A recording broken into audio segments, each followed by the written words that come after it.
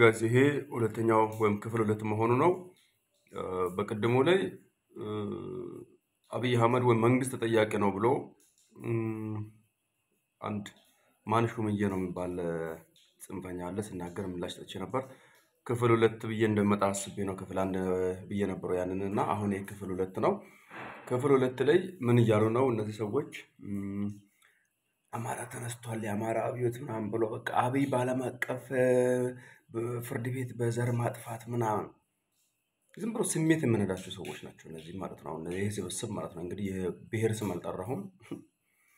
ስለዚህ በዓለም አቀፍ ፍርድ ቤት ማቅረብ ካለባችሁ ወይም ምኞቱ ስሜቱ ካላችሁ ማቅረብ ያለባችሁ አብይን አታቅርቡ ብዬ እንዳልል አትችሉትም፣ አታቀርቡም። ከዚህ በፊት የሆነ ፕሮፌሰር ነው እ፣ ምንር ነው የምትሉት ላቀርብ ነው ምናምን ብላችሁ jam ስታደርጉብን ነበር።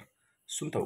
አሁን ማቅረብ ካለባችሁ የእናንተን YouTubers፣ TikTokers እና በተለያዩ መንገዶች GoFundMe የሚሆን በምን በምንም እናንተ ላይ እየነገዱ እየጠሏችሁ እየጠሏችሁ ማለት እናንተ እንድትገደሉ እያደረጉ የአማራ እንዲገደል እያደረገ ከዛ ደግሞ እያስጮኸ ገንዘብ የሚሰበስብ ሌላ ጊዜ ዩቱቡ ቲክቶኩ ሌላው ጸጥ ረጭ ሲልበት ደስ የማይለው እንደፈለገ ኦሮሞን ሰጥ ተሳድቦ ብሔር ብሔረሰብን ተሳድቦ አማራ ላይ ሰው ተቆጥቶ የሆነ ችግር እንዲያደርስ ጥፋት እንዲያደርስ ያደርግና ልክ የሆነ ጥፋት ሲደርስ ያንን ደግሞ የሚቀርጹለት በየቦታው ያሰማራቸው ሰዎች አሉ።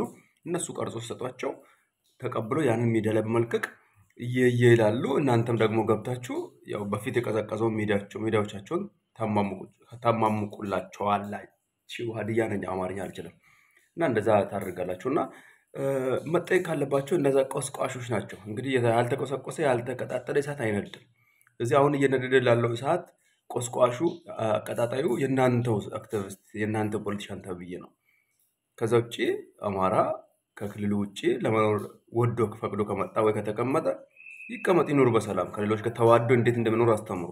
ቋንቋውን ባህሉን ለምዶ አክብሮ እንዴት እንደሚኖር አስተምሩ እንጂ የተቀመጠበትን ሁሉ የኛ ነው እንትን ነው ሆሳና ነው ናዝሬት ነው ምንድን ነው ምናምን እየተባለ እ፣ ትግራይ መተናል፣ አሁን ደግሞ ኦሮሚያ ነው፣ ደቡብ ገብስ ነው ምናምን ምናምን እንደዚህ ፉከራ። ከዛ በኋላ ደግሞ ህዝቡ ተቆጥቶ የሆነ ነገር ሲያደርስ መልሶ ጩኸት ደስ አይልም።